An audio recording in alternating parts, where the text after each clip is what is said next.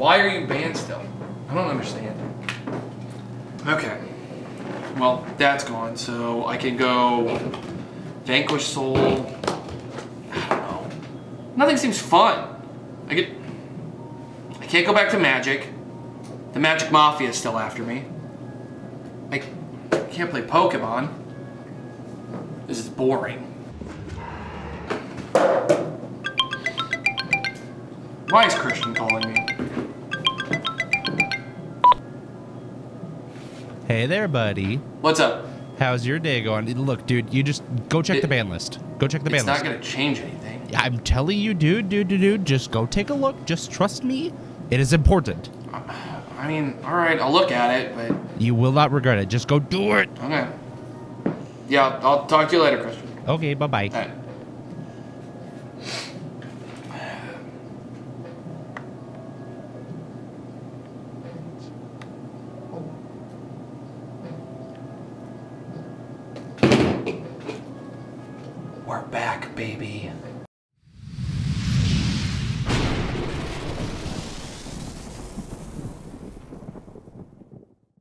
Lads!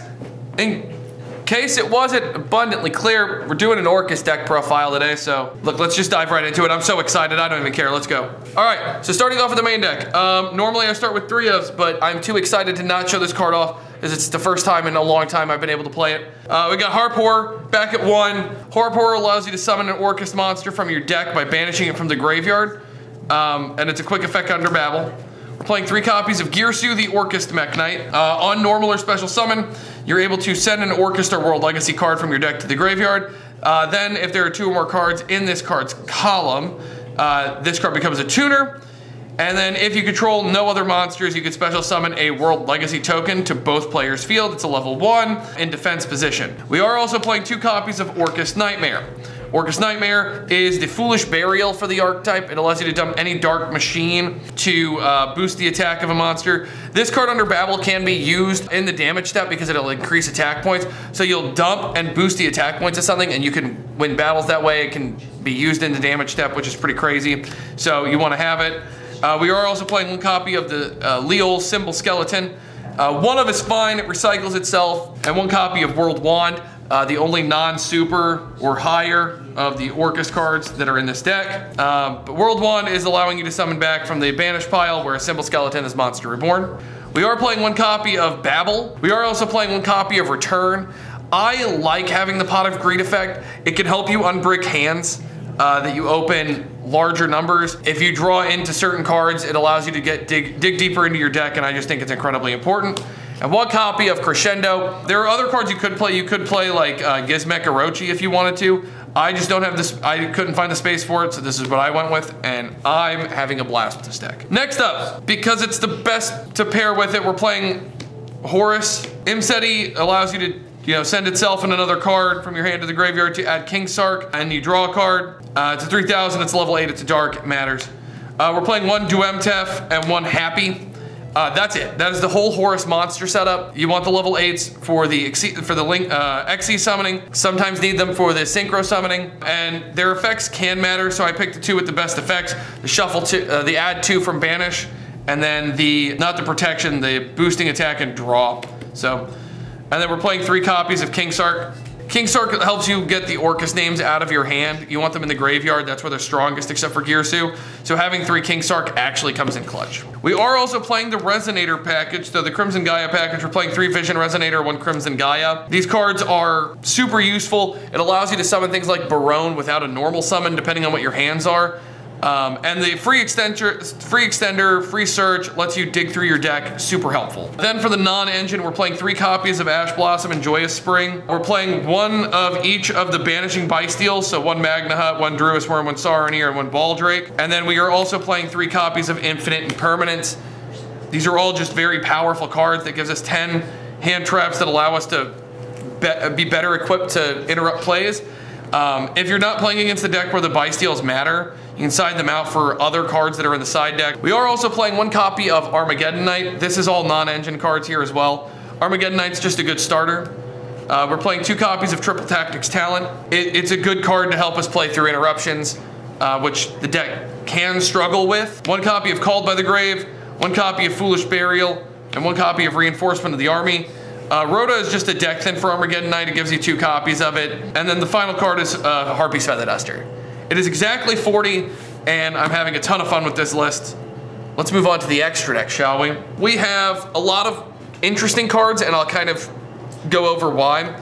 So first we're gonna start off with two copies of Galatea. It's the best card in Yu-Gi-Oh! I love this card. I'm so happy I get to play it with it at almost kind of full power again. Galatea allows you to set an Orcust spell or trap by targeting and shuffling in a machine monster from your banish pile.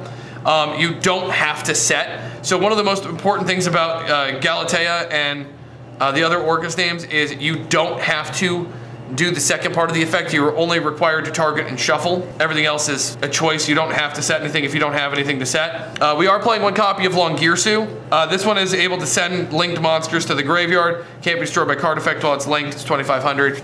Uh, then we are playing two copies of Dingirsu. Dingirsu is one of the best boss monsters in all of Yu-Gi-Oh's history. A non-targeting send on summon or a protection effect, and you can attach Banished Monster to it as material, which is crazy strong. Then we're playing one copy of Baronne de Fleur and one copy of Bystial Disputer. Uh, with the Vision Resonators, you have a lot of level 8s that you can freely go into these cards with. There's a couple of choices with uh, the next three cards if you so desired. Disputer being able to negate things and uh, return banished cards to the deck helps you with grind games. It's really big. Baronne de Fleur is really strong at protecting you from things like Nibiru and other hand traps just off of like Imsety and things like that. So both are incredibly useful and you will try to end on Baronne when possible. Uh, then we're playing one copy of number 38, one copy of the Zombie Vampire, and one copy of Coach King Giant Trainer. Coach King Giant Trainer, full disclosure, can be number 90 if you have it. I don't have one, so this is an option. Another card this could be is SP Little Knight. We have another card that's completely optional in the extra deck uh, that I'll be showing you off in a little bit. So Coach King Giant Trainer and other card are able to be substituted for other and more expensive or more versatile meta cards. The Zombie Vampire is to help you dig. If you didn't see any of your Orcust cards in your opening hand, it helps you dig four deeper to be able to potentially get into them. And then number 38 lets you play through like spell-based decks. These could be like the number 90, number 38 would be a really good two level 8 Xyz monsters, two rank 8 Xyz monsters. So, And then finally, we're playing one copy of Linkuriboh, just in case you need Girsu, one IP, one Nightmare Unicorn. This card could be substituted for SP Little Knight, but I'm playing it in place of it for now is Topologic Zeraboros. And then finally is one copy of Access Code Talker to the side deck. Side deck is a little wonky, but I'm really enjoying it. I think it's pretty strong. So first things first, we're playing three copies of the big old Space Rock. There's so many decks it's really good against. You want to have it. Um, I didn't like it in the main, but having it in the side really, really works. We're playing two copies of Phantasme. This can be any two. This is a flex pick. I chose this because I find there's a lot of decks link summoning right now, and I want to have the option to be able to draw and, and fix my hands and this does that. Two copies of Lightning Storm. I just want to have more back row hate, just in case. It also works as like a board clear and a forced interruption. And finally, we're playing one copy of Trap Trick, which is to use either your Eradicators or your Deck Devastation viruses. These are really strong, and you play so many darks that are really high level, that uh, high attack, that this doesn't matter. It's real easy to get into them and use them. But I wanted to play three and three, but I thought Trap Trick allowed me to play both and it took up less extra deck or side deck space, so it allowed me a little bit more room. And last but certainly not least is evenly matched. But lads, that is my Orcust Horus deck profile. This is probably the most competitive version of Orcust currently, um, is a version like this. I'm having a ton of fun with it. It's super explosive. It's insane lines that can net you, like you can simplify game states really easily and get into very explosive moments where you'll just win the game out of nowhere. I hope you guys enjoyed. If you did, smash that like button, subscribe if you haven't already, hit the bell, let us know what we're doing right. And uh, until next time, lads, good fun. Have luck.